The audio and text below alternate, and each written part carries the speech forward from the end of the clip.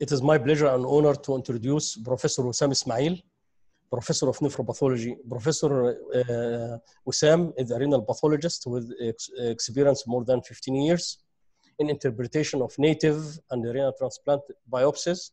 She is an assistant professor uh, of pathology at medical school, director of histopathology lab of University Hospitals, Beni-Suef University, and is the owner and director of, uh, pathology lab, a private renal pathology service in Cairo, Egypt, a very uh, famous lab, uh, well equipped and high quality. Professor Wesam is the deputy chair of the renal pathology Com- uh, committee of the International Society of Nephrology, uh, an ISN educational ambassador of renal pathology since uh, more than six years, and former ISN fellow uh, between 2001 2002. She was a member of educational committee of the International Renal Pathology Society in 2014.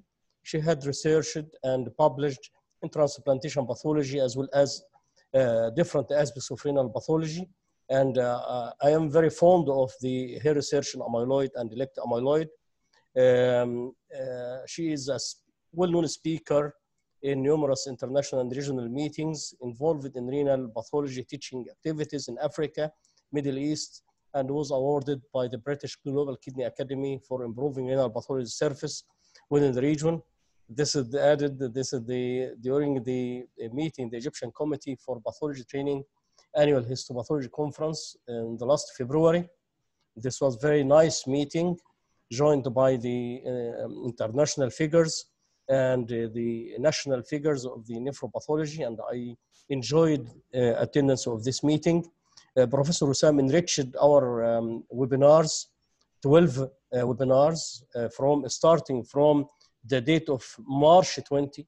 So since the 20th of March up to uh, today, it is the 13th webinar and uh, it, she uh, had already 12 webinar 24 hours and this is a treasure of nephropathology for nephrologists and for uh, people interested in pathology.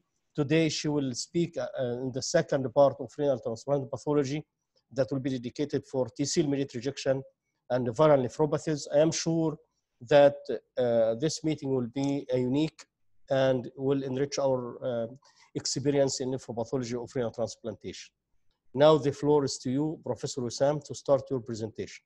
Thank you very much.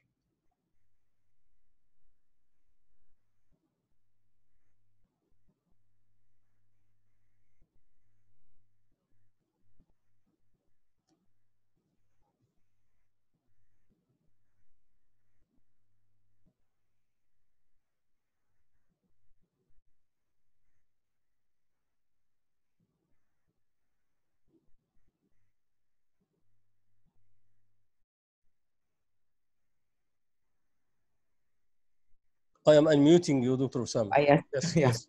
Dr. Halawa, do you like to, to add something, introductory points? Uh, uh, thank you very much, Professor Hussein. Just uh, I would like to welcome my colleagues and uh, my students from University of Liverpool. Today, the second part of uh, um, uh, Professor uh, Wesam Ismail uh, pathology webinar. She is an eminent pathologist who's interested in education as well, which is very important. And actually, she's um, you know um, relating to her practice and also to the national guidelines. Uh, uh, welcome my colleagues and hopefully you will enjoy this webinar. There is another one coming next week, next Monday, same time. I'm going to forward the link to you um, hopefully in the next week or so. Thank you very much. Thank you, Professor back to Ha- Dr. Halawa. It is our pleasure to uh, join this meeting with you and your colleagues from Liverpool. Yes, Professor Wesam. Okay, thank you very much, Dr. Hussein, for the introduction. Today, as you mentioned, is the second part in uh, transplantation pathology. And I would like to focus today on T-cell mediated rejection and its related differential diagnosis. Hopefully, we will have enough time to cover viral nephropathies as well.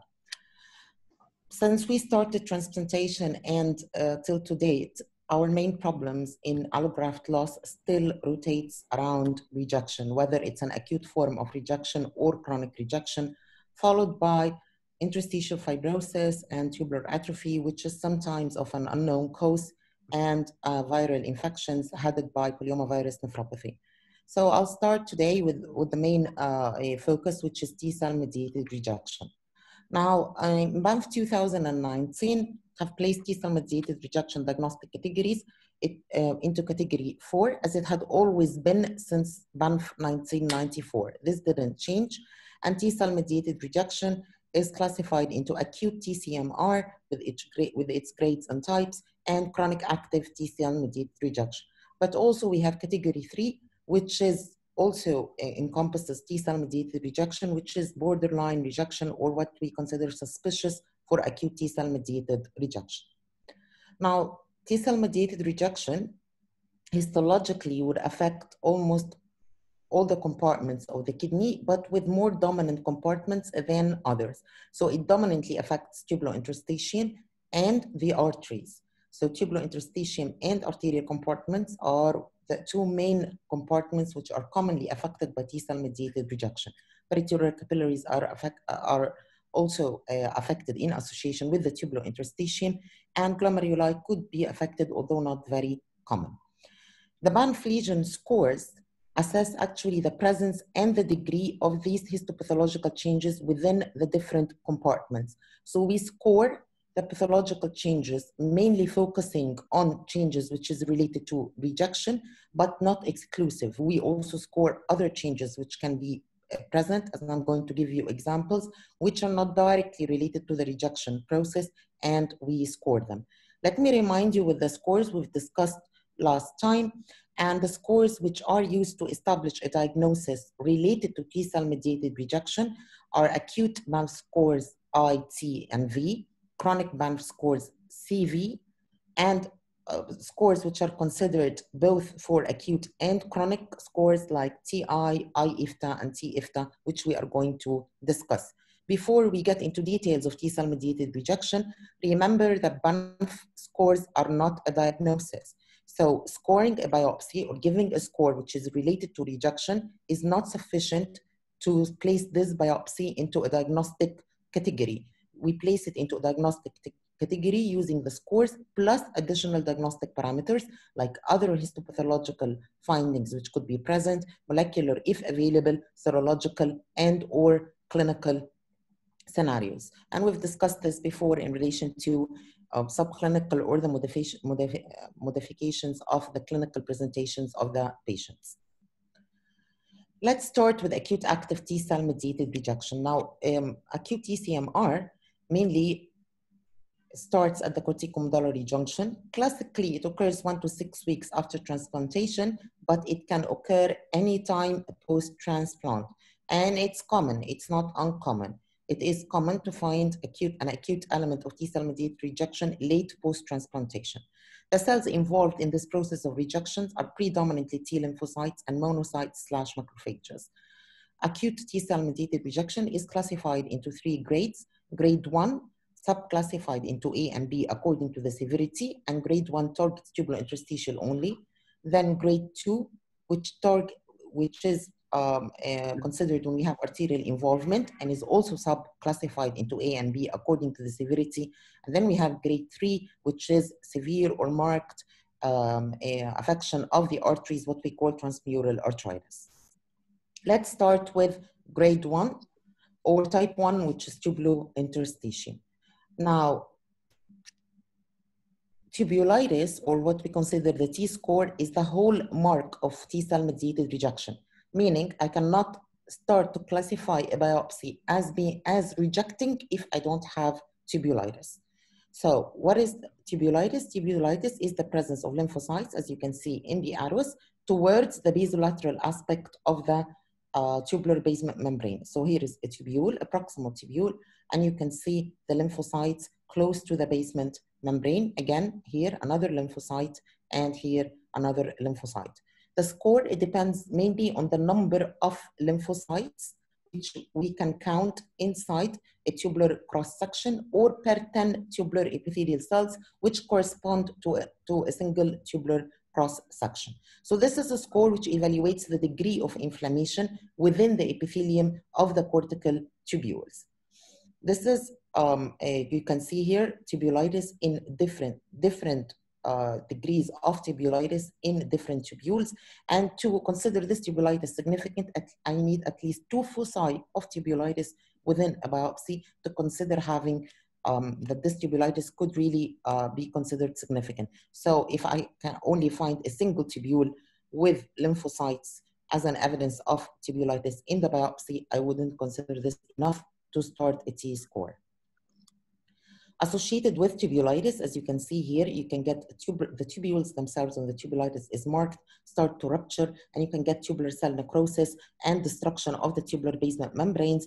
And then it is really difficult to score tubulitis in these uh, scenarios, especially for beginners, because the, the tubular basement membranes are not clear because they are, they are discontinuous. However, the T-score is based on the most affected tubule or the most severely affected tubules. As you can see here, this is the tubule with a T3 count. You have more than 10 lymphocytes within the tubular cross-section. So it's not the percentage or surface area of the tubules affected, it's the most affected tubule by the tubulitis, and hence we base the score on it. According to Banff 2017, we score acute T cell mediated rejection as well as chronic active T cell mediated rejection in both non-atrophic tubules and slightly or moderately atrophic tubules. This, what, this is a major change through the years in T cell mediated rejection because when we started scoring for T cell mediated rejection, we completely ignored any tubule with atrophy. But as I said, this have changed and uh, in 2017, we scored it for, uh, for the diagnosis of acute T cell mediated rejection, not borderline, for diagnosis of T cell mediated rejection, whether acute or chronic active, the tubulointerstitial types in uh, moderately also and slightly atrophic uh, tubules. Severely atrophic tubules are not considered. This is an example of what we consider slightly and moderately atrophic tubules. The basement membranes start to be thickened and slightly wrinkled, but without marked uh, affection of the tubular lumina. You can also get tubular atrophy with marked affection of the, um, of the lumina without affection of the tubular basement membranes. However, you can see that we still have here considerable tubulitis, so this is eligible for a T-score 2. This is an example of the tubulitis T-score. T0 means that we have no mononuclear cells in the tubules or a single focus of tubulitis only, as I've mentioned. T1, we count from 1 to 4. Then we have T2 more than 4 up to 10, and T3 more than 10. It's only T2 and T3 which we consider significant for an acute T cell mediated rejection element. So starting from a score of 2, then I consider that we do have a rejection process. The second score, which is considered in T cell mediated rejection and in tubulointerstitial type, which is type, is the I score. I-score scores the degree of inflammation in non-scarred areas of cortex, meaning that we score the extent of inflammation according to the surface area of the biopsy provided in areas which are not related to fibrosis. So this is what we consider an I-score. Expected with, uh, with the inflammatory infiltrate to get sometimes significant edema, and the cells which are present within the interstitial infiltrate in a rejection biopsy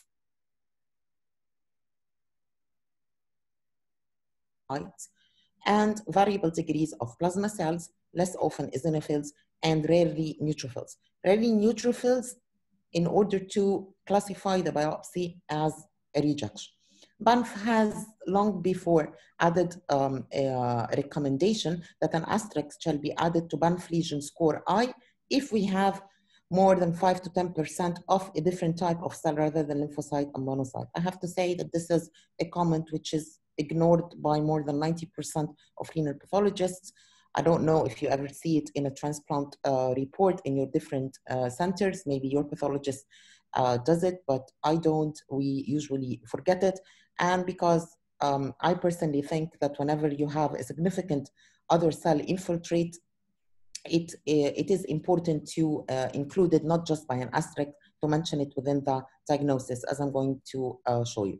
This is a typical um, interstitial inflammation in rejection process. You can see that mainly we have lymphitis and edema, and we do have scattered eosinophils.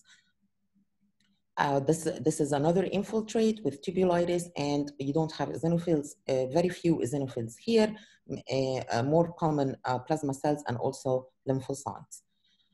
What if we have an eosinophilic dominant infiltrate? I know that what comes to your mind is a drug-induced interstitial nephritis, but no, this is still not common within a rejection process, but accepted within a rejection infiltrate. And the more eosinophils we have, the more chance that if we do not see an arterial component to the rejection process, that we are missing it somewhere. So eosinophils are directly related actually to, um, to a more severe form of rejection, mainly arterial involvement. If we have a lot of neutrophils, then cannot classify it as rejection as a rejection process anymore, or at least not as a pure T-cell mediated rejection process, because if you have neutrophils and if you have neutrophilic tubulitis, like in this case, meaning it's the neutrophils which are attacking the tubules, not the mononuclear cells, then this is a process of infection, and this is an acute bacterial or acute infectious tubulointerstitial, uh, whether bacterial or fungus, but not uh, viral. Viral infections do not bring neutrophils in.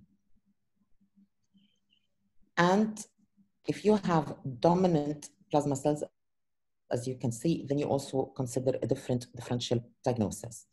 The I-score, or the, uh, the extent of interstitial inflammation, is scored also from 0 to 3, and uh, 0 is no inflammation, or less than 10% of unscarred cortical parenchyma. So we, here it's not only it's not complete absence, up to 10% of unscarred cort inflammation on uh, cortical parenchyma is not really uh, considered. Then I1 is from 10 to 25%. Then we have I2 up to 50 and I3 more than 50. Again, for um, placing uh, a biopsy into the category of rejection, we start from I2. So I1 and I0 are not considered enough threshold to consider that the patient is rejecting. In Banff 1997, areas that was not considered for the Banff I-score were fibrotic areas, the immediate subcapsular cortex, the adventitia around large veins and lymphatics, and I will come to this later. However, in 2007, and also nodular infiltrates, perivascular nodular infiltrates. However, in 2007, we modified this and nodular infiltrate and non-scarred areas are also uh, considered within the I-score. So type 1 tubulointerstitial uh, uh, T-cell mediated rejection is uh, subclassified into grade 1A and grade 1B according to the extent of tubulitis. So to say that we have a grade 1A T-cell mediated rejection, we need interstitial inflammation score of I2 or I3, meaning starting of more than 25% of the uh, cortical parenchyma inflamed, cortical, not medullary, with moderate tubulitis T2. If the tubulitis is T2, then it's 1A. If the tubulitis is T3, then it's 1B. So the main, uh, but both have the minimum threshold of an I2 for the diagnosis of T-cell mediated rejection. Let's have a case. Now, this was a male patient, 54 years old. He received a living unrelated renal transplant uh, since three years uh, presenting with and presented with a serum creat of 2.7 almost and a protein creat ratio of 116.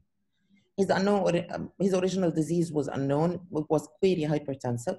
This patient received no induction. Post-operative of course was uneventful.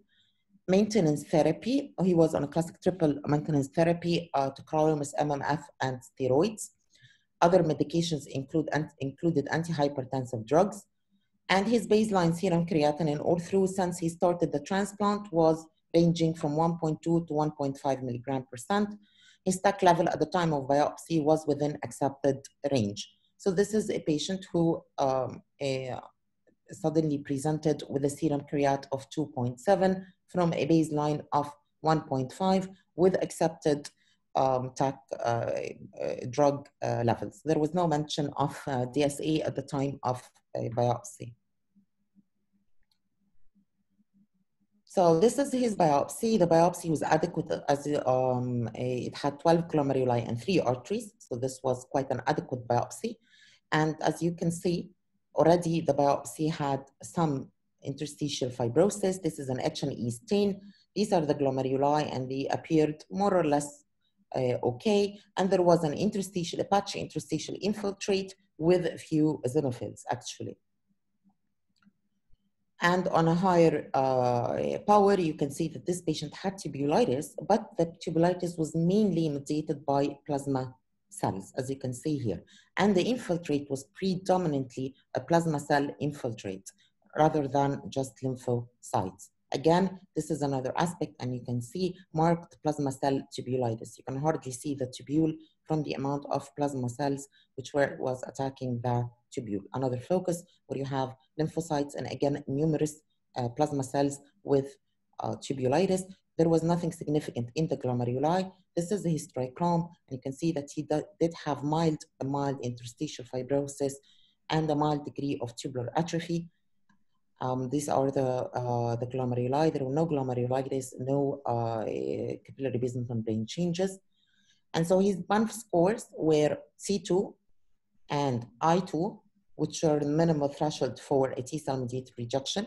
He had um, inflammatory cells in his peritubular capillaritis, which is okay because we have interstitial inflammation, so we had PTC2. He had mild arteriolar hyalinosis, a score of one, and he had early chronic changes, so his score was just one, and I'm sorry, this is one, not two. And he had a total inflammatory score two. I'll, I'll get to these later. And his C4D was negative. So the diagnosis was basically an acute active T cell mediated rejection, Banff type grade 1A, plasma cell rich, C4D negative, T cell mediated rejection. Now, when we get a plasma cell rich infiltrate in the biopsy, we need to exclude first a differential diagnosis, mainly viral infections, CMV, and BK or virus nephropathy, as well as PTLD or post-transplant lymphoproliferative disease. Following the biopsy, patient urine cytology was negative for decoy cells. We've done SV40 and it was negative. CMV, PCR, and Epstein-Barr virus was negative. So his final diagnosis was really a pure T-cell mediated rejection, but a plasma cell rich type. What about plasma cell-rich acute rejection? Now, this type of rejection was first described very early on in 1999 by Charney et al. This type of rejection is, carries a very poor prognosis, is resistant to all forms of therapy. This is the T-cell mediated rejection, although it is dominantly plasma cells, but all through the years, there was absolutely no link uh, proven whatsoever related to any form of antibodies or uh, a humoral reaction to this type of rejection. As, and as I said, this is very bad news, unfortunately, to the patients. So this is, is considered a subtype of uh, type 1 uh, acute uh, T-cell mediated rejection. When we have other findings or other pathologies within the interstitium, we need to consider whether we have anything else going on beside the T-cell mediated rejection. And one of the most remarkable findings is actually the presence of interstitial hemorrhage. If you have interstitial hemorrhage and remarkable tubular injury, maybe you should consider um, adenovirus, which is not uh, which is not common at all, at least in our population, or more commonly, you consider that you can have antibodies as well. So that this is not a pure T cell mediated rejection, that this patient could have also an element of antibody mediated rejection. Of course, if you have a dominant infiltrating pattern of um, uh, mononuclear cells, and especially if these cells start to be atypical, then you can, or as you can see here, this uh, wiping infiltrate by um, uh, the mononuclear cells, then you need to consider PTLD or post-transplant lymphoproliferative disease, also not a common finding, but has to be considered within the differential diagnosis, bearing in mind that not all patients with PTLD are EBV positive. The second type of acute T-cell mediated rejection Excuse me, Professor Wesam, uh, uh, because uh, I'm very interested in the plasma-rich rejection. I think the 10% is the cutoff point to say plasma-rich rejection. Am I right? Yes. 10% of the cortex infil infiltrated by plasma cell to say plasma-rich rejection. And whenever we see this, we search for DSA, as you mentioned, because we assume that antibody-mediated rejection may be in the background as well, not only T-cell mediated rejection. And uh, when we diagnosed plasma cell rejection, we expect, as you mentioned, poorer prognosis. So and the, one of the most important points is to try to uh, exclude the presence of viral infection, especially BK nephropathy. Uh, This type of plasma cell rich rejection actually is directly related to non-compliance of the patient. Yes. There was absolutely no proof of the liter- in the literature all through these years, more than 20 years now, for any form of DSA, C4D, whatever we come up with something new related to antibodies, plasma cell rich rejection is again um, investigated in relation to this, and we still reach, get to um, a dead wall. Maybe one day we will figure out these types of rejection and why they are so resistant to therapy because patients do lose their grafts eventually due to this type of uh, rejection. And even if the, even if the diagnosis is mediated rejection, uh, this is the what we find in uh, in the current literature of the transplant nephrology and the tra- clinical transplantation. Uh, we should look at anti-HLA antibodies and uh, asking about drug adherence because if we have T cell mediated rejection accompanied by DSA, even if it is pure T cell mediated rejection, uh, especially in non-adherent persons, this is the predictor for uh, poor graft survival. So even if, if it is a similar rejection, we would like to know DSA. The We're going to yes. Okay. Yes. Okay. The second type is um, uh, the one which targets the arteries, and uh, the defining lesion uh, for it is a V score, or what we consider intimal arteritis. And according to the degree of the V score, V1 or V2, we classify it into type 2, and if it's a V3, we classify it into type 3. So this is a score which, or, or intimal arteritis, is actually evaluation of the presence and degree of inflammation within the arterial intima. Again, the score is based on the most severely affected artery. This dictates the score. Plus or minus fibrinoid necrosis. So fibrinoid necrosis is not involved in the scoring process. The scoring process mainly depends on the inflammation. Any level, any degree of the V score can be associated with fibrinoid necrosis. Now let me show you. This is uh, an artery, this uh, part of the wall of the artery. This is the, this is the endothelium, and you can see the lymphocyte beneath the endothelium. And here is another one, and here is another one. This is what we call intimal arteritis. This is the V score, and one cell is enough. If I only have this in an artery, this is enough to classify this artery as having an arterial rejection or a V score. Bearing in mind that this is not intimal arteritis. These lymphocytes are, are only marginating along, along the endothelium, and you have some vacuolation within the endothelium. You have to see clearly and frankly the lymphocyte beneath the endothelium. V is, uh, um, is scored according to the percentage of the intima uh, affected by the inflammatory cells, V1 being equal to or uh, less than 25%, and V2 more than 25%. As you can see here, this is another artery, and you can see the extent, it, it almost involves 100% of the lumen. Again, here, this is the endothelium, all over mixed, activated, and detached together with the inflammatory cells, which are uh, all present sub-endothelium. The muscle here is paired. We don't see any lymphocytes in the media.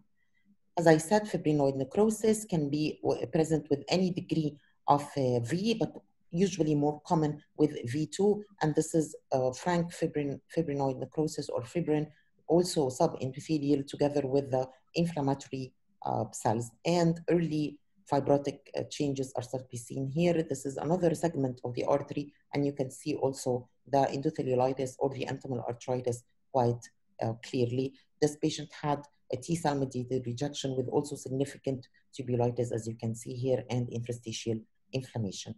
Now, V3 is when the inflammatory cells crosses the, uh, the intima and involves the whole thickness of the artery, what we call transmural endarteritis or transmural intimal arteritis or transmural arteritis for short. And this is a very severe form of rejection. And this is why it is classified on a different, on a separate category as type 3 T cell mediated rejection. So this is type 3. This is what we call transmural arteritis. Usually you can see fibrinoid necrosis. You get this extensive inflammation as you, this was an artery and you can hardly see the wall of the artery from the amount of inflammation which is uh, which is there. The lymphocytes almost attacked, the replaced the whole wall of the artery. Or you can have fibrinoid necrosis, also replacing the whole arterial wall, as in this artery. This is also V3, but the fibrinoid necrosis has to be within the whole thickness of the wall to classify it as V3. Um, V lesions, as, you, uh, my, as I've mentioned earlier, could also be seen within the arterioles. As you can see, this arteriole also with, um, uh, with inflammation and fibrinoid necrosis. Intimal arteritis or V-score V-score lesions, and some uh, use the term transplant endarteritis, all means the same thing. It actually defines type 2 acute T cell mediated rejection. So in 95% of cases, these lesions are related to T cells. These are T cell mediated rejection. And this, this was basically up according to the classification to date. We still consider the V lesions as T cell mediated rejection. However, in the last years, we started to have evidence relating the V lesions to the presence of DSA or C4D. And in this nice study by Carmen Lefaucheur, she have noticed that biopsies who has actually um, evidence of antibody-mediated rejection, whether ABMR and arterial rejection or the V lesions, the V score, have much worse prognosis related to other types of rejection without the V. So look here, you can see the T cell mediated rejection, type 1 only T cell mediated rejection without arterial involvement, without a V score, actually fares quite well. And what follows uh, after it is T cell mediated rejection with a V score. Then comes antibody mediated rejection, but with no arterial involvement. And the worst, and there is a huge gap between these three types of rejection and this type of rejection. So the worst combination you can ever have in the biopsy is that to have a V lesion with evidence of antibodies, whether it's a DSA or C4D positive. So there is a six-fold increase in graft loss compared to intimal arteritis lesions without DSA, which are the ones which are pure T-cell mediated rejection. This actually can account in part for the frequent lack of a complete response of these lesions, which is reported by the regular or the routine treatment targeting only T-cell mediated rejection. So your patients which are diagnosed as uh, V um, as V scores with a C4D negative, and you really need to also consider doing DSA because they might have the, the presence of DSA will make these uh, these patients have a poorer prognosis as well as more resistant to uh, the routine therapy of T cell mediated rejection type 2. Let's look at another case. This was a female patient. She had um, she presented on day five post transplant with a serum creat of 4.5. Again, her operation uneventful. Again, she received no induction. Her original disease, according to a biopsy, but then outside, was chronic interstitial nephritis with FSGS. Post-operative course, her creat landed to 1.0, 1.8 on day two, but then started to rise up to 4.5 in day uh, plus five. Her initial therapy was cyclosporin, MMF, and steroids. Patient had received pulses, steroids, cyclosporins discontinued, and tacrolimus started. DSA was withdrawn, and a renal biopsy was obtained. Of course, the differential diagnosis is open, and these are just demonstration cases. We don't have actual, um, unfortunately, enough time to discuss it. Again, the biopsy was adequate. We have we had two very nice cores of uh, cortical tissue, and as you can see on the low power, she had a mild interstitial infiltrate, and only this focus of um, a, a inflammation, interstitial inflammation, with a single uh, focus of tubulitis. Her glomeruli also were more or less insignificant, but look at her arteries. And this is the first artery, and you can see we have easily V2 here. You have significant intimal arteritis. This is another artery with early fibrinoid necrosis, and again, a V2 lesion. And this is, these are the arteries in trichrome stain, And all through, I just want to demonstrate the patient had absolutely no tubulitis and the interstitial inflammation was insignificant. So her score was T0, I0, V2, and she had a PTC1 and um, a TI1, and of course, no chronicity. This was just still the first week uh, post-transplant. And her C4D was negative, as you can see. So this patient is diagnosed as an isolated V2 lesion, which is consistent again with acute T cell mediated rejection, Banff type grade 2B, which is arterial with fibrinoid necrosis, C4D negative. I'm trying to show you with the cases the way we uh, mainly report the biopsies, how we consider the score, and how the scores and the other findings in the biopsies are translated into a diagnosis. And this is the commonest forms of diagnostic lines, but of course, each pathologist has his own wording into forming a diagnosis, but not the category. What about isolated V lesions? Now, isolated V means that we have only a V score without interstitial, sorry for the typo, without interstitial inflammation and or tubulitis.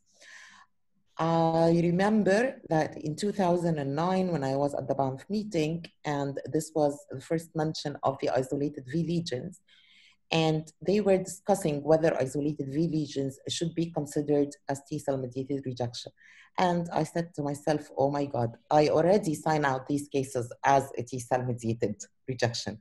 I never considered having a V score that it can be different or that it can be caused by anything else other than rejection. So five years later, in 2014, the Banff group have decided that isolated V shows comparable response to treatment and graft survival as V lesions, which has I and T score, meaning classic T cell mediated rejection, and thus most isolated V lesions should be reported as type 2 or 3 acute T cell mediated rejection. And in C4D negative cases, up to 13% of these isolated V biopsies were associated with DSA.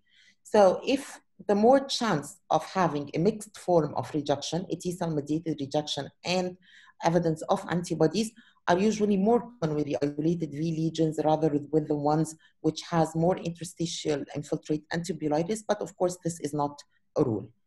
And as I, uh, some isolated V lesions appear to represent acute antibody-mediated rejection or mixed antibody-mediated and T-cell mediated uh, rejection. So we don't use the term isolated lesion anymore because we have proved over the years that these lesions are actually T-cell mediated rejection.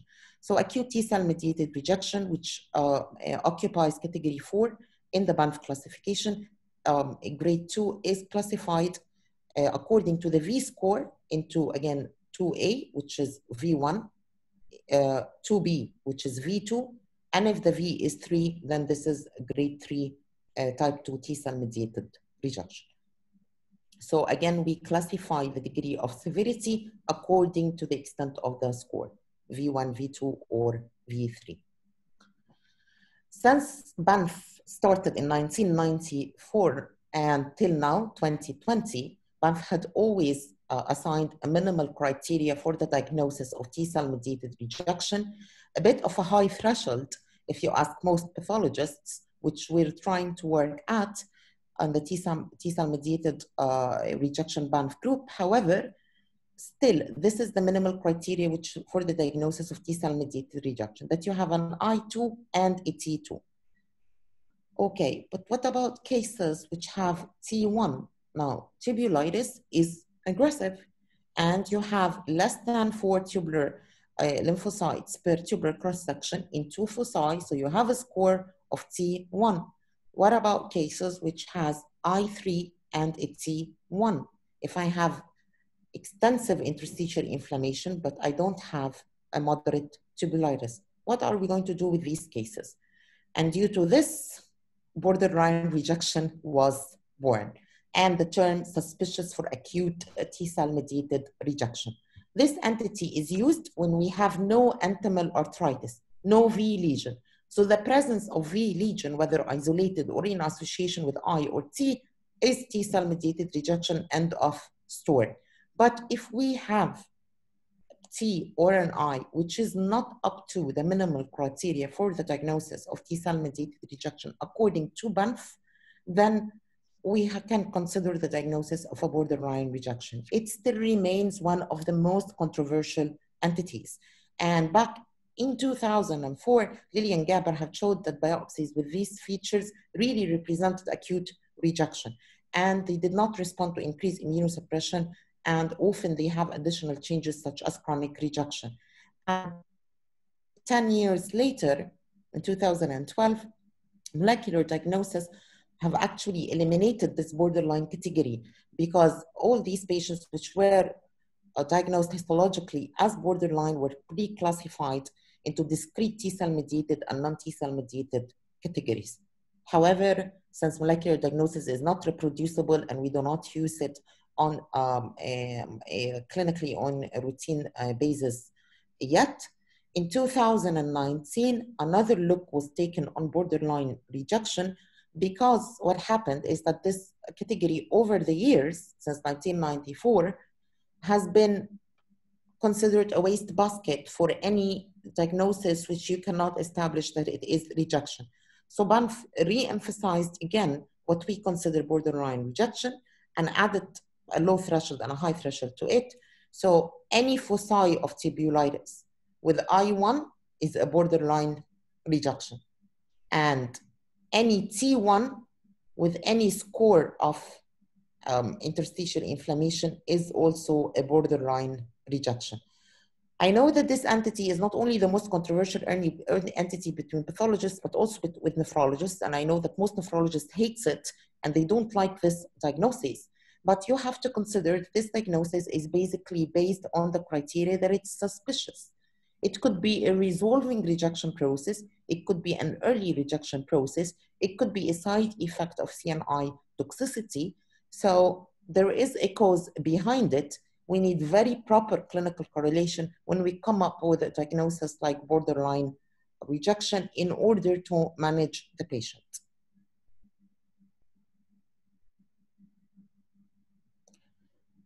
So we've talked about the acute all the acute scores which are related to the tubulo interstitium. So what about chronic scores? We also evaluate chronic uh, uh, changes in the tubules and in the interstitium. We have the Banff score CT, which evaluates the extent of cortical tubular atrophy, which is usually tightly associated with the areas affected with interstitial fibrosis, starting from absolutely no tubular atrophy one, two, three, up to 50%. So surface area, which is covering the tubular atrophy in the cortex. While Banff score CI evaluates the extent of cortical fibrosis. However, here we start from two up to 5% of cortical area, meaning, as we've mentioned before, that we allow up to 5 to 7% actually of presence of fibrosis, which we consider it within the normal in the cortex, tubular basement membranes, perivascular fibrosis, and so on. And all what's above 5% or starting from 6% is started to consider CI1 and we classify into mild, moderate, and severe.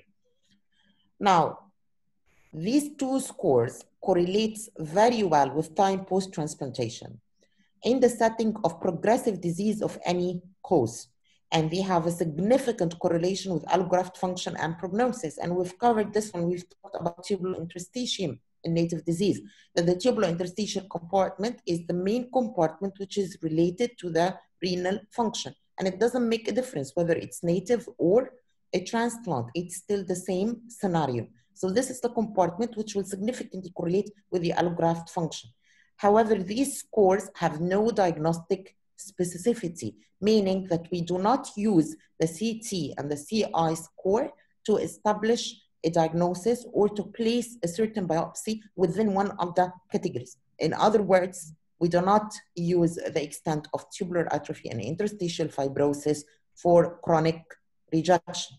They are not considered criteria of a chronic rejection process. They can be present, of course, they need to be present within a chronic rejection. But on their own, the presence of interstitial fibrosis and tubular atrophy, what we call IFTA, is not a, one of the criteria for chronic rejection. Chronic rejection, as we're going to discuss, have specific criteria. When these criteria are fulfilled, we uh, we uh, place the biopsy whether into chronic active or a chronic inactive form of rejection. But interstitial fibrosis and tubular atrophy on their own, without any evidence of a chronic active rejection with them, will just be categorized as IFTA. So you cannot relate this to chronic rejection because I know this causes a lot of confusion. And when you get a pathology report with a lot of inter- with a lot of IFTA in it, you consider that the patient has a chronic rejection. No.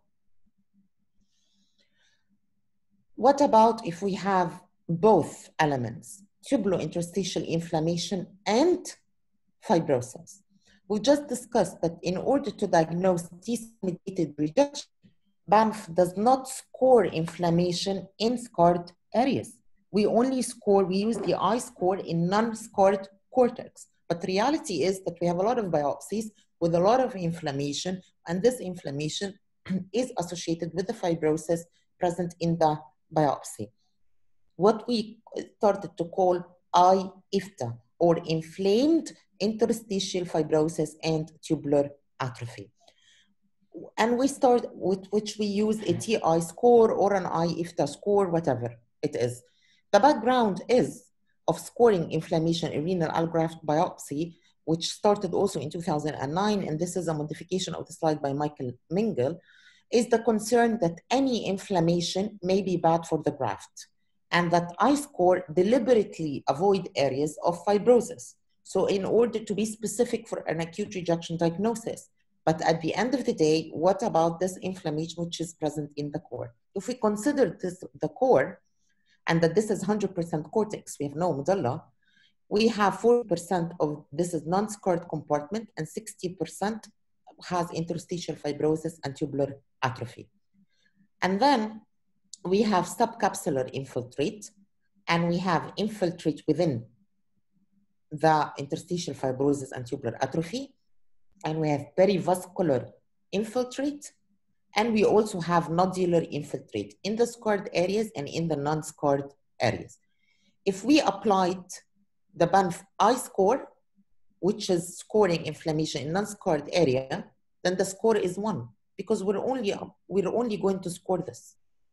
All of these forms of inflammation are not going to be scored. Maybe this area also of nodular inflammation. However, if we used an IFTA score, then you will get 67%. You're going to score the whole compartment. See, 10%, this is the Banff I score only. We have 5%, 3%. This is the nodular and perivascular we, we are, which we ignore. And then you have 40% of the inflammation in related to the interstitial fibrosis. So we needed an absolute score to reflect the total inflammatory burden of the graft. How much inflammation you have in scarred and in non-scarred areas because inflammatory cells are bad, whether they are related to fibrosis or unrelated to fibrosis. And hence, we came up with the IFTA score to score the, combi the combination of interstitial fibrosis and tubular atrophy with the inflammation of any degree. And new definitions of chronic T-cell mediated rejection was introduced in 2015 to consider that we have a chronic form of T-cell mediated rejection, not only in the blood vessels, but also as it was before 2015, but also in the tubulointerstitial compartment. So this is the, I, the IFTA score. It scores inflammation in areas of interstitial fibrosis and tubular atrophy. As I mentioned, it was first introduced in 2015, and also in scarred cortex. And as you can see, it follows the same uh, system, no inflammation, less than 10%, 10%, up to 50 and more than 50, and we scored from zero to three. This was not, did not come out of the blues. We knew since 2010 um, uh, that inflammation in areas of tubular atrophy, which is the chronic changes, was, were strongly correlated with renal allograft loss in the DeKAF study. This was followed by the study in 2016, where um, um, this, this group have studied gene expression in biopsies of acute rejection and IFTA, where they showed that they uh, actually share mechanisms that correlate with worse long-term uh, outcomes. And they have concluded that most IFTA samples have molecular evidence of ongoing immune-mediated injury, same as acute rejection samples. And they have, that was their opinion, that even if no inflammation on histology was uh, present, and the molecular profiles which correlated with future graft loss in IFTA samples were actually significant. And they considered that acute rejection or T-cell mediated rejection and IFTA phenotypes are stages in the same alloimmune processes. So in 2015, we had major updates to the Banff diagnostic criteria for T-cell mediated rejection. We included IFTA and it's associated with T-cell mediated rejection and so on. But more importantly, that a few papers have came up that, uh, in the last couple of years. Again, another paper by Carmen and T-cell mediated rejection is a major determinant of inflammation in scarred areas in kidney allografts. And you can see the difference in the survivals one year post-graft biopsy in patients where they have IFTA 0 compared to patients with IFTA 3. And again, um, here in the same, this is the probability of, uh, of the graft survival. And this is, again, there is here, there is something missing in this slide. Anyhow, this paper had uh, shown that this is a major determinant of allograft loss, inflammation in scarred areas. Then we have this very two nice outreach by Brian Nankivell from Australia, where Brian have looked at the causes, significance, and consequences of the inflammatory fibrosis in kidney transplantation, mainly targeting the Banff-I IFTA lesion. And you can see the relationship between early T-cell mediated rejection and I IFTA and the renal function by one year in patients with I IFTA. These are the patients with inflammation and interstitial fibrosis and this is the ones which have no inflammation, but still have interstitial fibrosis and tubular atrophy. So even in the presence of interstitial fibrosis and tubular atrophy, the presence of inflammation itself associated with this type of fibrosis will worsen the graft survival. And also that this, is, this was done with death-censored graft survival. And they have also shown that this was related to the type of immunosuppression and that these IFTA lesions are more related to cyclosporin rather than uh, tacrolimus. So tacrolimus actually can manage the, uh, the burden of the total inflammatory burden present in the graft and that maybe these cases are related to under immunosuppression or non-compliance as we see in a lot of our patients. This is interstitial fibrosis, and you can see trichrome. This is a, tubules, and you can see all of this green is the fibrosis, and you, you have the inflammatory cells. Again, extensive inflammation with a background of fibrosis. All of this is I IFTA. Then we have tubulitis within the, uh, a, the slightly atrophic and moderately atrophic uh, tubules. Again, here you can see markedly wrinkled tubular basement membranes and tubulitis. So all of this is considered chronic active T-cell mediated rejection type 1. However, T-cell, chronic active T-cell mediated rejection is not only defined by the tubular interstitium, we've always known, and this had been present since the first Banff classification, where we only considered actually chronic active rejection is sclerosing transplant vasculopathy or the ones, the chronic changes which affect the arteries. We, what we call it, we call it sclerosed transplant vasculopathy or chronic allograft arteriopathy. All terms are accepted. This is a finding where you get marked thickening and reduction of the lumina of the arteries, and it occurs usually late after transplant, but you can see it following maybe after one year. And this lesion is usually preceded by intimal arteritis. So this lesion is usually preceded by an acute attack approximately of these uh, uh, lesions are C4D positive. So around 30% are antibody mediated rejection, not T cell mediated rejection. These patients would present with a slow progressive rise in, in serum creatinine, and there is no therapy, of course, if it's inactive, it's already chronic, and they have poor long-term graft survival. It's the blood vessels, and you get very ischemic kidneys look, this is one of our patients, and this was her biopsy 40 days post-transplant. She had a V2 uh, a T-cell mediated rejection of type 2B, and this was her biopsy 15 months post-transplant, and look at the arteries. And this is typically V moving into CV or acute T-cell mediated rejection, which have transformed into chronic active T-cell mediated rejection.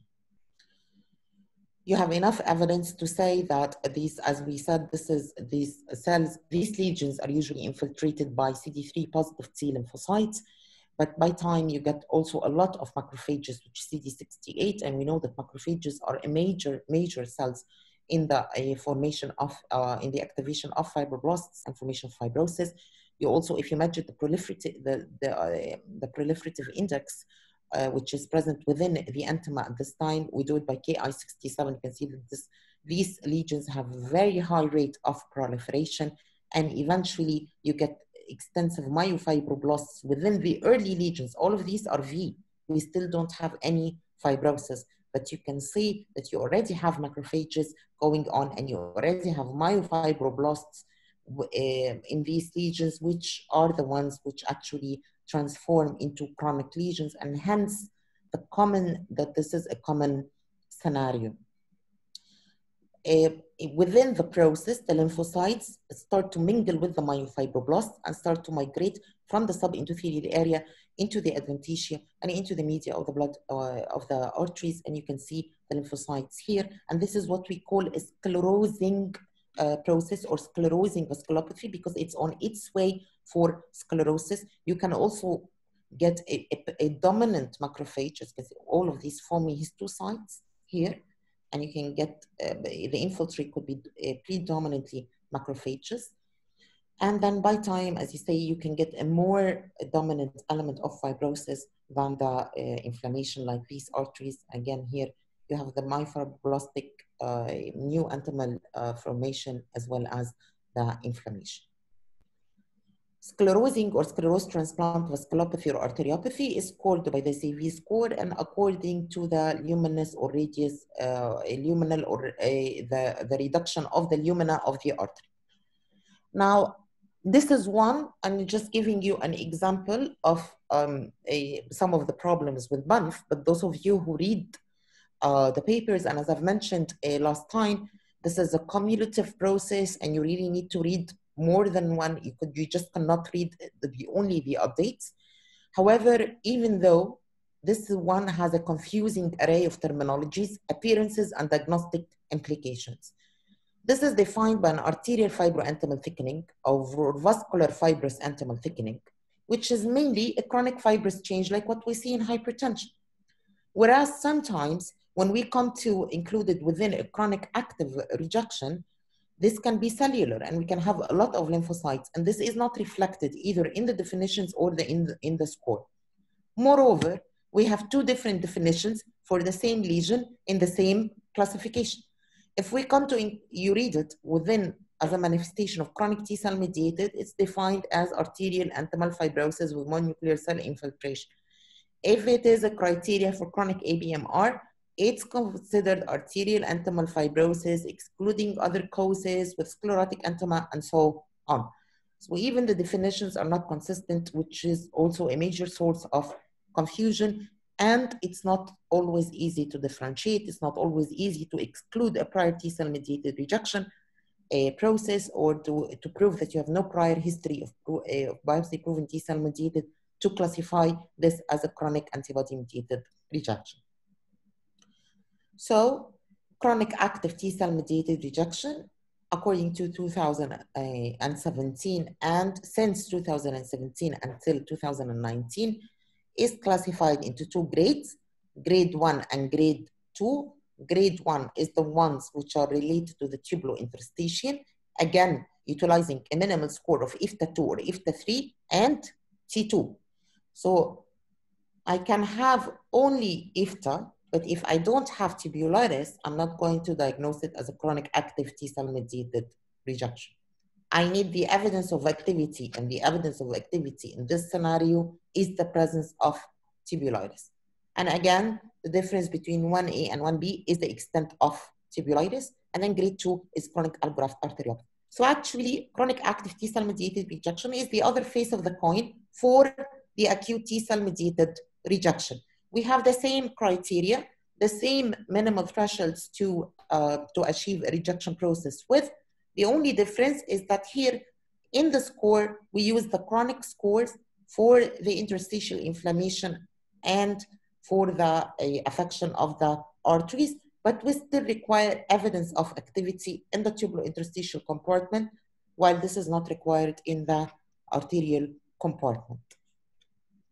Let's look at this patient. This is a 28-year-old male who received the living unrelated transplant.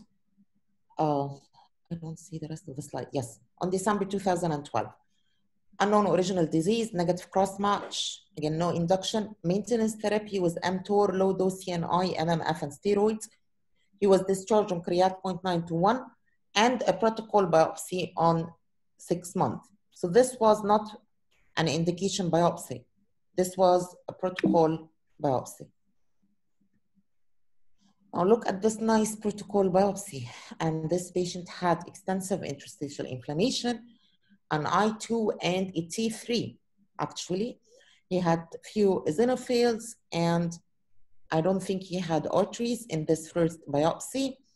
His C4D was negative and DSA was withdrawn post-biopsy and it was negative. And his diagnosis was acute T-cell mediated rejection, Banff type grade 1B. So we had a severe form of tubular interstitial rejection and C4D negative. And I couldn't uh, exclude an associated arterial component because the biopsy did not have any arteries. Patient was treated with anti-rejection therapy and returned on follow-up visit with a creatinine of 1.2, which was accepted. However, three months later, his creatinine became 1.8 and started to rise, so they repeated the biopsy. Now look at the second biopsy. Remember, the first biopsy did not have any interstitial fibrosis, or maybe minimal. Look now. Look at his trichrome. He has started to have significant interstitial fibrosis, and we still have significant interstitial inflammation. And within these areas of inflammation, we had tubulitis, and he had a single artery, I think, which was mildly thickened. His C4D again was negative. I don't know about the DSA this time. However, his diagnosis came as he had a persistent acute T cell mediated rejection because he had inflammation in the non scarred areas, which was classified this time as Banff type 1A. So his acute element was less in severity, but it was still there. But he also had chronic active T cell mediated rejection, mainly tubulointerstitial, which was Banff grade 1A. So now what? Are these two diagnoses? Do the patient has two processes going on? Or actually, this represents a continuation of the same process. And I want to tell you that this is the more common scenario of what we see in our biopsies. And because of this, in 2019, in Banff, a survey actually was circulated among nephrologists, nephrolo- uh, uh, pathologists, as well as uh, transplant surgeons on how we want to place the diagnosis or what do they think of chronic active T-cell mediated rejection.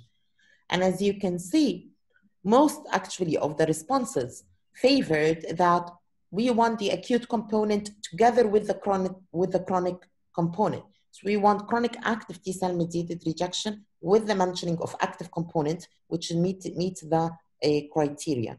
And nobody wants that we just mention an IFTA, that this is a moderately inflamed IFTA.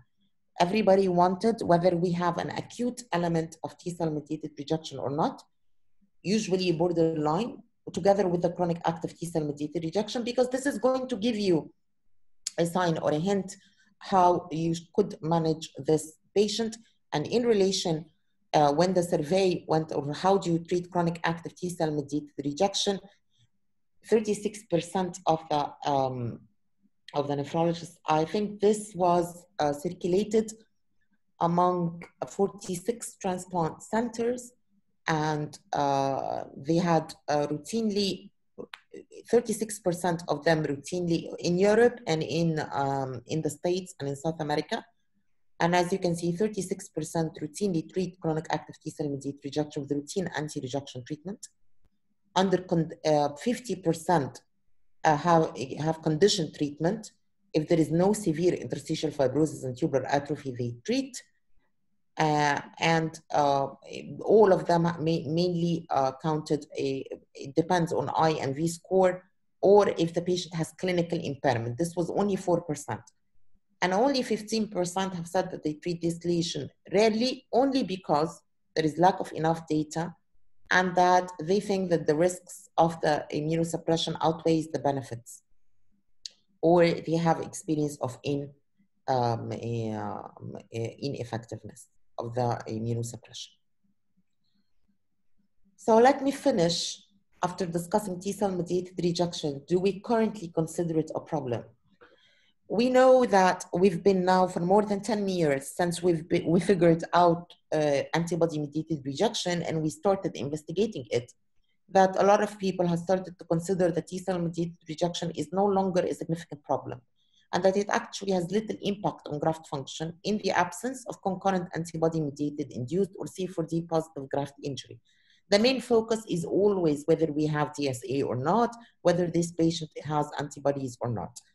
And even some have considered that chronic active T-cell mediated rejection is a diagnosis which doesn't exist and that all chronicity in the graft is believed to be induced by antibodies. However, we have enough evidence in the literature and ongoing studies which actually emphasize the importance of persistent T-cell mediated inflammation as a contributing element to progressive graft dysfunction so when we come to consider the graft dysfunction and the graft survival, T-cell mediated rejection becomes the major determinant of your graft survival. And the same group actually in an earlier investigation have reported T-cell mediated to be a commoner cause of graft loss, 19%, than antibody mediated rejection, 2.1%. This is a Mayo Clinic group, by the way. And then another study showed that T-cell mediated rates were increased with DSA. So actually, you have DSA, you have T-cell mediated uh, rejection with a trend to increased rates when the PRA was more than zero in the absence of DSA. This study or these results could represent a form of mixed rejection. Followed, if you look more at the literature, that actually the presence of concurrent T-cell mediated rejection is an independent risk factor for graft failure, even in patients with antibody mediated rejection. Because when you get a diagnosis of a mixed rejection, you mainly focus on antibody mediated rejection, while what's going to make the patient lose their grafts are possibly, possibly the untreated T cell mediated rejection. And this very nice study by, uh, by Dorjik, which actually reflects what we see in our routine practice, when they looked at 63% of early and 96% of late antibody mediated rejections, they have found sorry, they have found an element of T cell mediated rejection in up to 63% of early antibody mediated and almost 100% of late antibody mediated um, uh, rejection when they included the borderline category. Whether T cells come in secondary to humoral damage, whether the T cell mediated rejection occurs first and acts as a sensitizing event for the later onset of antibody mediated rejection, that does not diminish the importance of T cell mediated rejection and the need for implementing T cell therapies in these patients side by side with antibody directed therapies. We are overstressing antibody mediated rejection up to the degree of neglecting concomitant TCMR in the same biopsies and neglecting them in the report and neglecting them in the in the treatment of the patients. And I'll leave you with the notion that yes, T cell mediated rejection is still a major problem for our renal allografts. Thank you. Thank you very much, Professor Wesam, for this excellent and detailed uh, focus on the T cell mediated. I have a couple of comments and then to open the discussion. Uh, so the, to start with, nowadays there is no 100% pure T cell and 100% pure antibody mediated rejection. Antibody mediated rejection may have a component of T cell and the cell may stimulate antibody formation. And even in antibody mediated rejection, nowadays, nowadays we learn it to test even uh, for soluble CD30 is uh, added to the armamentarium of antibody that denotes T cell activation. So always there is a, a interaction and a close collaboration of T and B uh, in the damaging of the graft. Um, uh, uh, the, one of the most important points to uh, clarify the presence of sufficient biopsy is mandatory for diagnosis because we may have a, biopsy for patient with clinical graft function, and then it is borderline rejection, and the arterial uh, vasculitis or arthri- arteritis is missed. So to have sufficient biopsy is mandatory.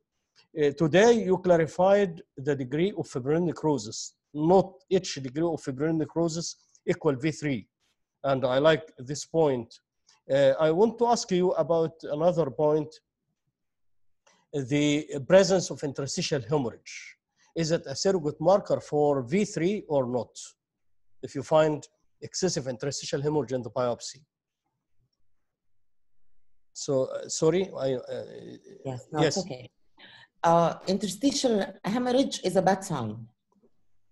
Let's say this. So when Yes. I have interstitial hemorrhage in the biopsy, I consider vascular involvement. So two options. Not not a specific V score. No, any V score or any arterial rejection can cause to inter, eh, can cause interstitial hemorrhage. But I would consider first antibodies. yes. But there has to be a reason behind the hemolysis we see and the hemorrhage which is there in the biopsy. So interstitial hemorrhage is about um, is a bad sign in the biopsy. Is an alerting sign that you have something else which is probably missed in the um, in the biopsy. One of also one of clinical important finding is the early and late the timing of active T cell acute T cell immediate rejection. Always we find late and uh, acute uh, T cell immediate rejection uh, probably doesn't respond to, to treatment. So this is quite frustrating for us to find late uh, acute rejection. Usually, yes, that's because um, out of ex- uh, of personal experience and also the uh, evolving literature, that usually the late ones are associated with DSA. Yes. So yeah, so usually uh, this is what you will see almost as I'm as we're going to discuss next time. By God's will, that um, in most of type 2 ABMR, you get a borderline rejection, actually more than 90%. I would like to, con- to congratulate you about this point because now it is routine. Whenever we have T cell immediate rejection, we should order testing for it's because yes. it will it will help us to guide the immune suppressive drugs and also to predict the prognosis of the graft. So You know, we've included it in our uh, upcoming transplant Since- guidelines. since- years, yes. Whenever you have impaired uh, graft function, you have to withdraw uh, DSA. And to stress upon the history of drug adherence because drug adherence if it's if there is non-adherence plus anti-HLA antibody within the context of acute T-cell immediate rejection the prognosis is gloomy uh, and the last point from my side is the mixed rejection mixed rejection also is bad and i think you will tackle it in the next uh, presentation Yes. now um, uh, i'm going to invite professor halawa uh, to uh, to have his comments Um, you know, without compliment, actually, you highlighted, um, you know, uh, a lot of debates about the plasma-rich um, uh, uh, um, uh, cell-mediated rejection, which is uh, very interesting, and also the um, uh, clinical significance of inflammatory infiltrate in a scarred area, because we used to ignore in the biopsy. So this is a scarred area, so ignore, ignore it, even we don't look at it. Uh, but I have two questions here. Number one regarding the neutrophil infiltrations you know if you have you know we usually we uh, we have been you know uh, through a lot of practice in terms of neutrophil infiltration.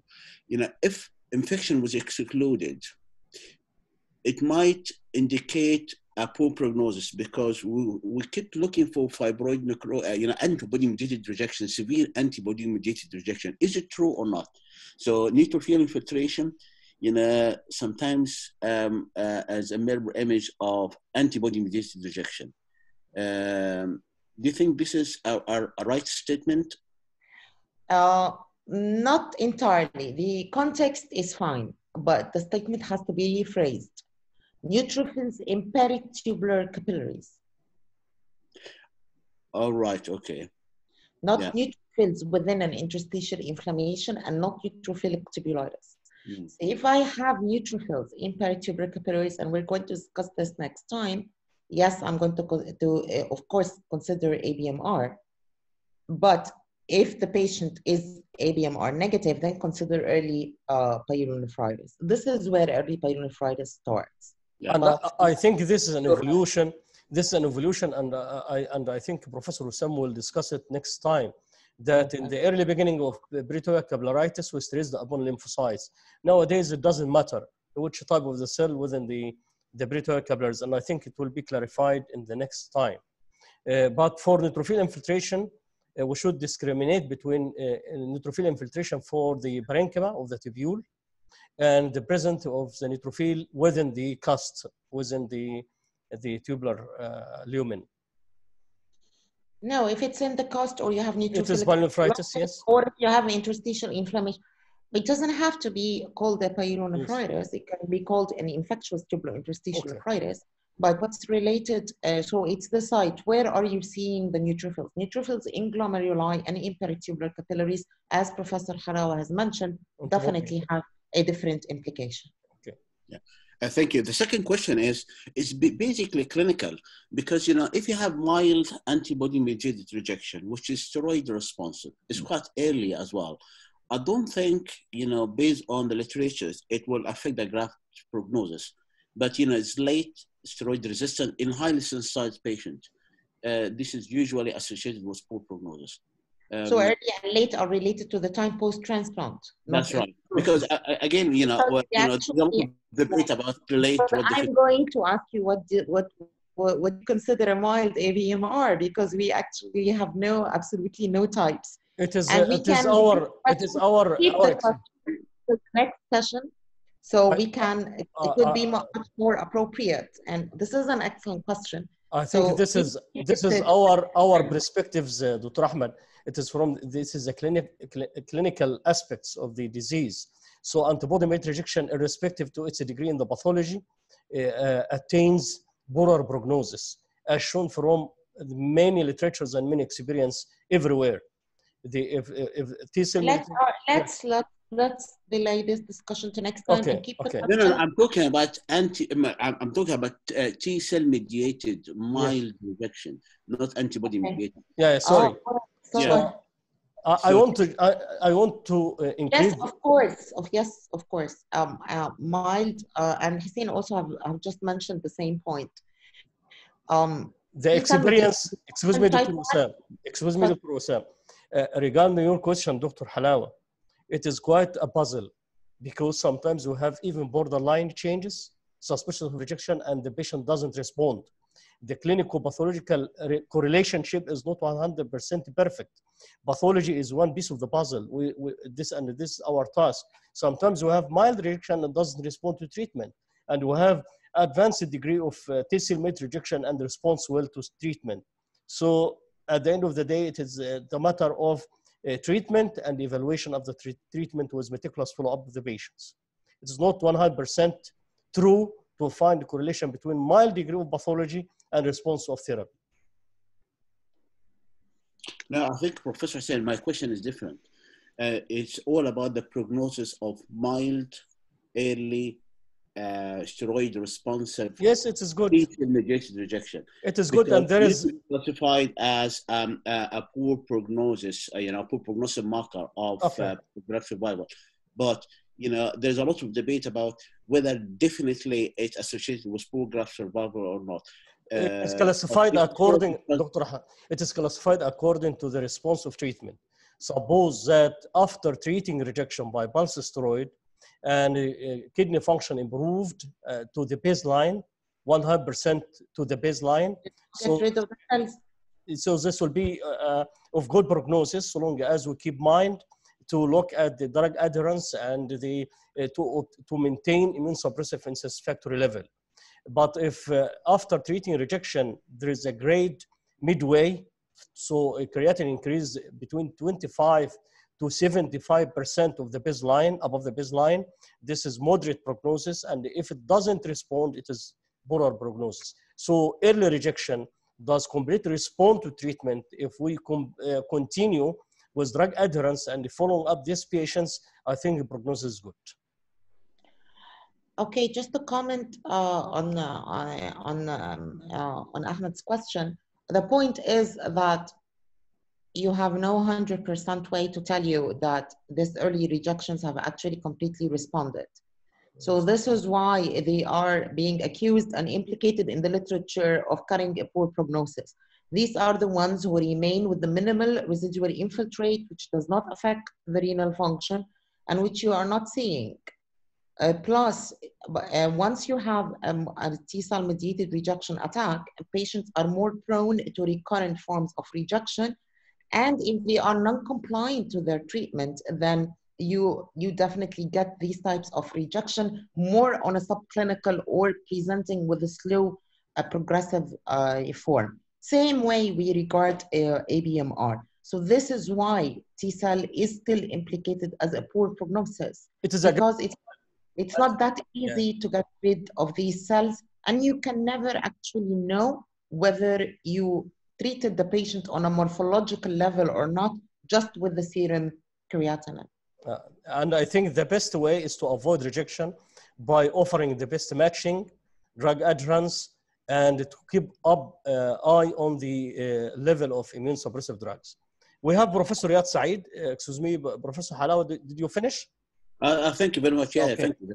Uh, Dr. Riyad, please, if you have any any points.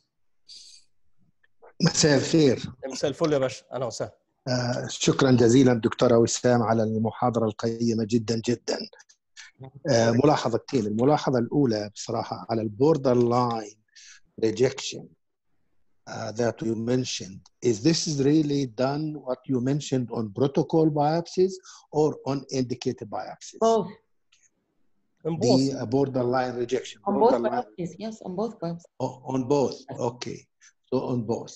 You know really to us as a nephrologist taking care of patient when we do the biopsy and i think we are looking for good help from the pathologist borderline rejection means nothing for us. Yes, I know. okay that really means nothing. Is there is rejection or no rejection? You have to stick your neck and you have to be sharp when telling us what to do because based on this we have to treat and anyway, I think if we suspect rejection, most of the time we are already starting the treatment and the biopsy. Usually, if we do it, it will be done if there is failure of the initial pulse steroid therapy. Because most of our patients, you know, they are really reluctant to go for a kidney biopsy, you know, just with the situation. So uh, we need a good criteria. Now, most of the labs nowadays, they do have DSAs. Most of the labs, they do C4D, and it's negative, negative. So if there is any multiplitis, mild interstitial infiltration, I think we have to say there is rejection. You know, please, if you take that borderline from your uh, vocabulary, that will be great for us as a nephrologist. I don't know what you think, Dr. Hussein. The- uh, uh, thank you very much, Professor Riyad, for this point. But if there is increase in creatinine and the pathology is borderline, we treat. And if there We is no, oh yes, yes, treat, and if there is no response, I personally prefer to test for uh, Repeat the biopsy. uh, uh, and to repeat the biopsy at the end of the day. Because as I mentioned, maybe it is borderline because we miss the vessels or we miss some uh, other part of the Sampling yeah yeah yeah yeah. So uh, the the most so we should both the clinical and the pathological together, and uh, take the at the end of the day. Uh, I, didn't mention in my uh, commentary points chronic T cell mediated rejection. I don't like chronic T cell mediated rejection. And when I deci- when we decide to treat chronic T cell mediated rejection, we look at the rate of rise of creatinine and the history of treatment if the patient was treated with several rejection episodes because we learned from our experience that ATG will not add anything if uh, we have chronic T cell mediated rejection beyond one year of transplantation. So uh, chronic T cell mediated rejection is very bad disease. Uh, also borderlines, we have a couple of cases, borderline that is very resistant to, to, treatment. So it's better to do rebiopsy. And when, even whenever we did biopsy, sometimes we don't have a 100% answer because any test, even if it is biopsy, uh, has its limitations. So clinical and pathological together, and uh, we may ask for the help of the lab and the serology as well. I Agree. Thank you very much. Thank you very much, Professor Riyad. Uh, Dr. Al-Ghamdi. Professor Al-Ghamdi.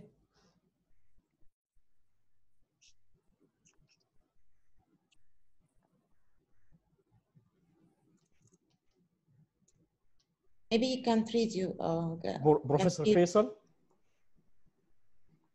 Yes, Professor Faisal. Thank you, Hussein, very much. Uh, Thank you. I I enjoy the talk very much, Sam. You are excellent.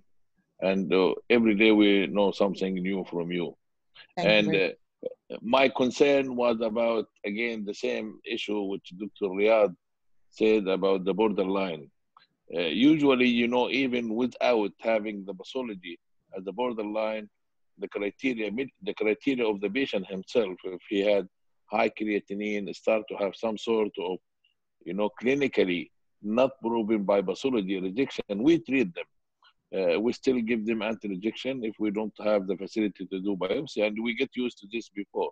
So still, even borderline, uh. They can help us a little bit, even if it is borderline. This is my own view. Uh, and I enjoyed the discussion very much. Thank you, Sam. Thanks, Hussein.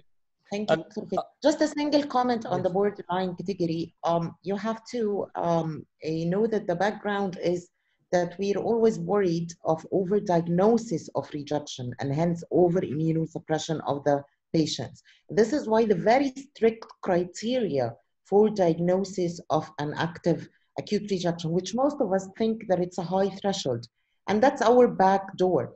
So yes, it is classified as a rejection, and we are telling you it is suspicious for rejection. So there is no need to get so much confused about it. Go with your instincts, your whole clinical um, uh, or evaluation of the patient. It's just that you cannot just leave it open for any tubulitis score or any inflammation score, or at the end of the day, all the patients will be diagnosed as um, rejection. So this is why that um, we need to be very strict on these patients because anti-rejection treatment is not a trip to anybody wants to go through. And also, Professor Wesam, I like your statement about the, the, uh, the, the molecular testing to know uh, if the borderline is just T regulatory cells infiltrating the graft. I think the, the, the, the place of uh, full molecular pattern will be for patients with stable creatinine uh, for protocol biopsy. And as you mentioned, it is not validated in every lab.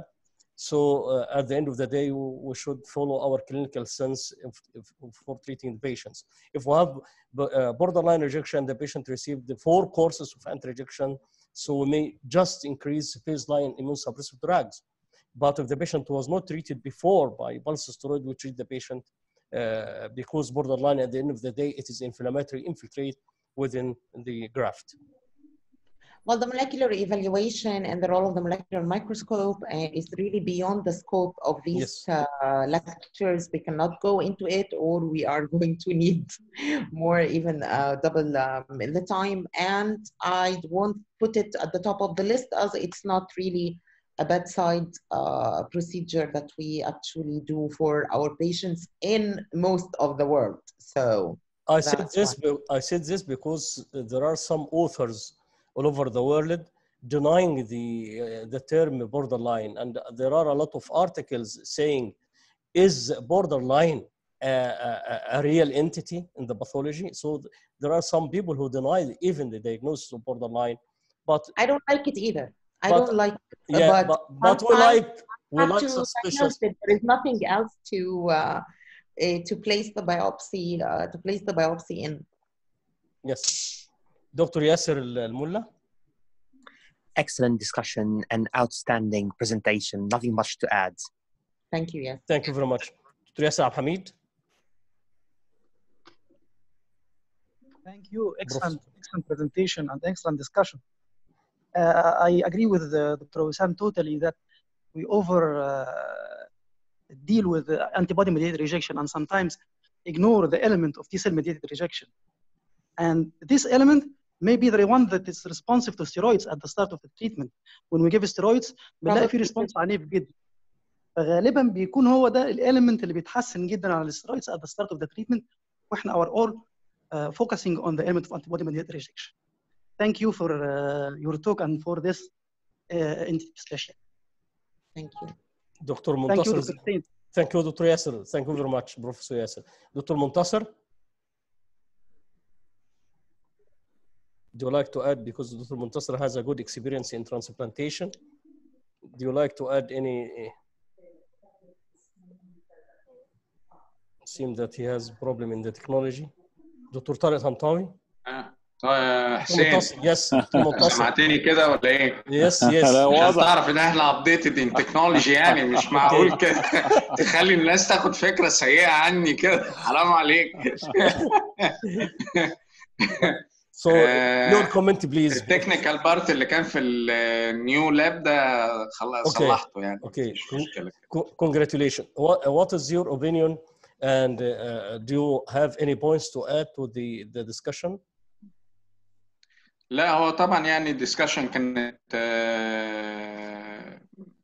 فيري نايس فروم اول اودينس لكن آه، برضو هي المشكلة في البوردر لاين بايوبسي بتبقى مسليدنج دايما في الـ آه، في الدايجنوزس اوف ريجكشن آه، rejection و actually آه، يمكن الباثولوجيست بيبقى خايف من الاوفر اميونو سبريشن بالنسبه لل للبيشنتس لكن actually برضه we have uh, to put in consideration انا لما بيبقى يجي لي بايوبسي doubtful for rejection I proceed in uh, increasing immunosuppressive Please, uh, uh, drugs.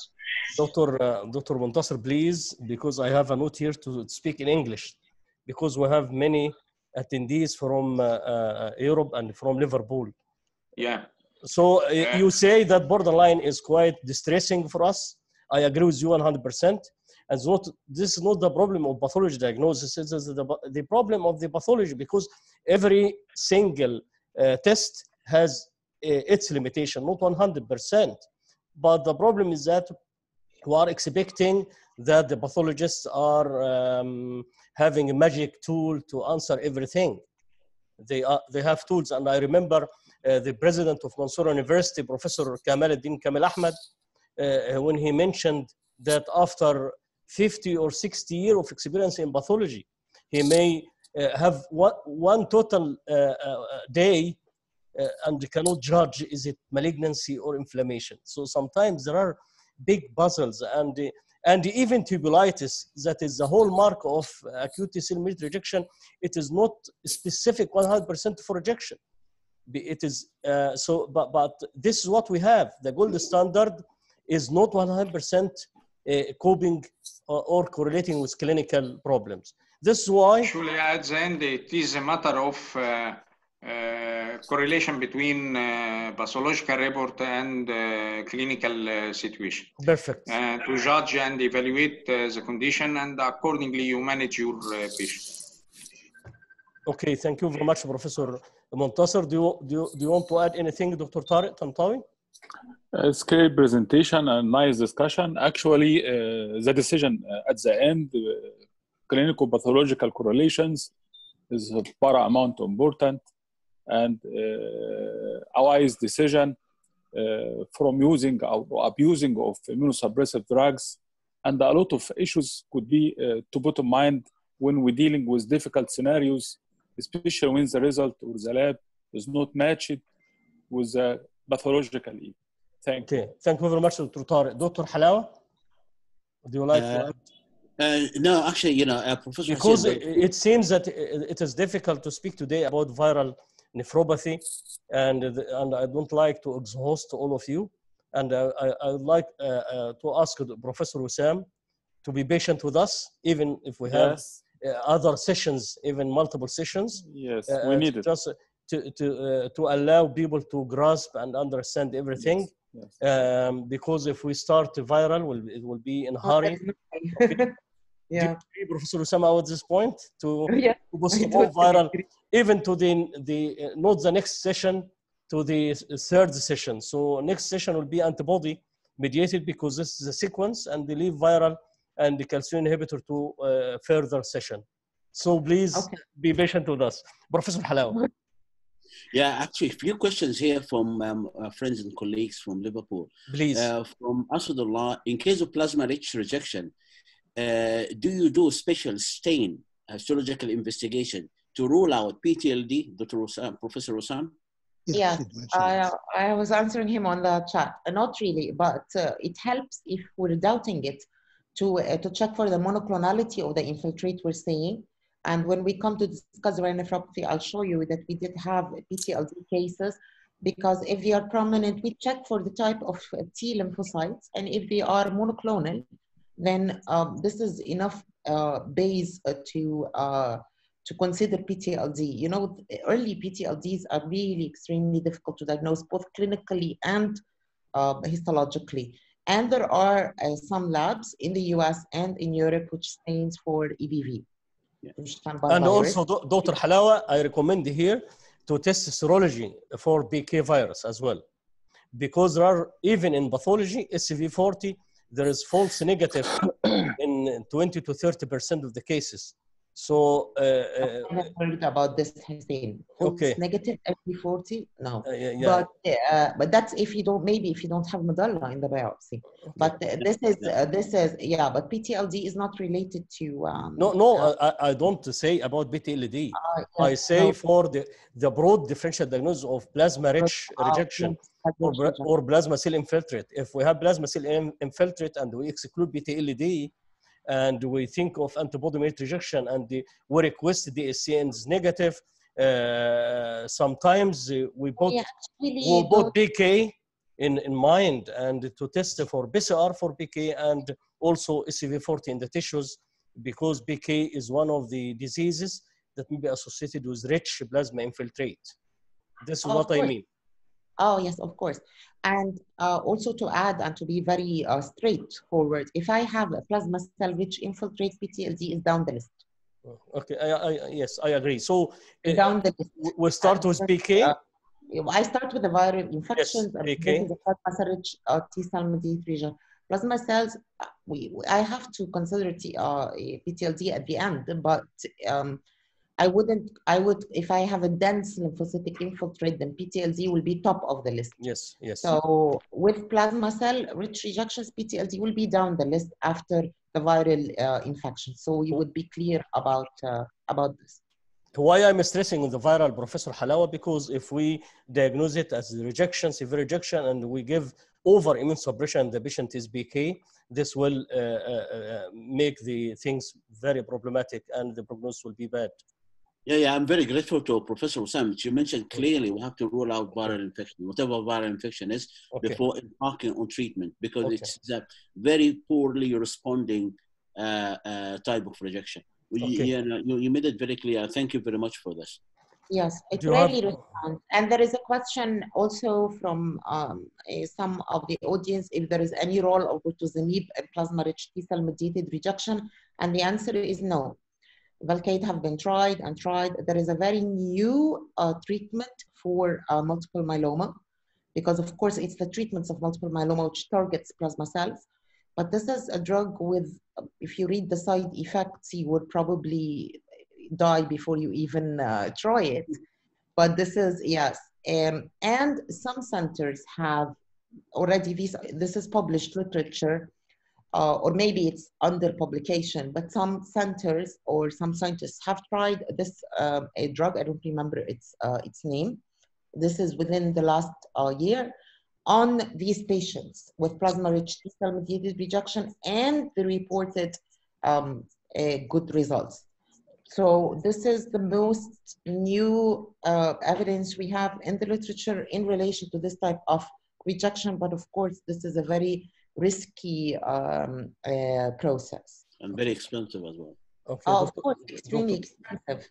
Dr. Halawa, so uh, even bortezomib is um, tested for management of antibody-mediated rejection, and uh, I, I think the uh, study was Borteject or something like I, I- I forget the name, and it was not very successful in managing uh, antibody-mediated rejection. Uh, but it is one of the armamentarium that we have. So if we decide at the end of the day, plasma-rich rejection is uh, antibody is, is uh, associated with antibody-mediated rejection, we can apply the protocol of active antibody-mediated rejection, including IVIG, um, plasma exchange, uh, and we may give bortezomib as one of the drugs at the end of the day because it will inhibit plasma. Uh, Professor Halawa, do you have any question, other questions? No, no, no, thank you very much. No, no, no, at all. Thank you very much. You know, uh, you made everything clear. Uh, so, uh, Dr. Al-Ghamdi, if uh, he if he has any, it's okay. So, uh, Dr. Wesam, we are appreciating your efforts to enrich our our mind. Uh, uh, yes, Dr. Um, Yasser wrote it is it is okay. I have the the uh, bro uh. Yes, it is Borteject trial. Yes, I remember the name, and I remember this trial that uh, the the drug was not a magic, but on individual patients, uh, if we apply the first line of treatment, uh, yes, it is published in Janssen in JASN 2018. If we apply the first line of treatment, which is IVIG, plasma exchange, and even rituximab and no, no response, we may give bortezomib, or we may give interleukin 6 receptor antagonist for treating aggressive antibody rejection. But at the end of the day, plasma rich rejection is, uh, is uh, quite uh, cumbersome and uh, carries a lot of, of, of messes. Okay, remind me next time I give this talk to omit the plasma cell rich rejection and the borderline category. we, we don't like them. and, Yes, we the can discuss other things. and the third one is chronic T cell mediated rejection. I And hate, I hate yeah, it very yeah. much. Uh, so at the end of this presentation, uh, it is very nice, excellent, fruitful presentation for uh, and included a clinical pathological discussion at the end of the presentation. And um, uh, uh, we will ask Professor Sam to be patient with us, even if we have other multiple sessions, because today this is the 12th If we continue for 15s, it doesn't matter. So we can be a but, big- but okay. you will leave, but you will leave to the library and to the education uh, Sure. treasure, a treasure, sure. Thank you very Thank you. much. Yeah. Thank you all for your Thank you, attendance, everyone, and uh, good night. uh, for your participation, and goodbye. Uh, tomorrow morning, I'm going to upload the video to the YouTube. Thank you and goodbye. Goodbye. Bye. Thank you, Professor Halawa. Thank you very much. Uh, Thank you shukran. very much. شكرا جزيلا. Bye-bye.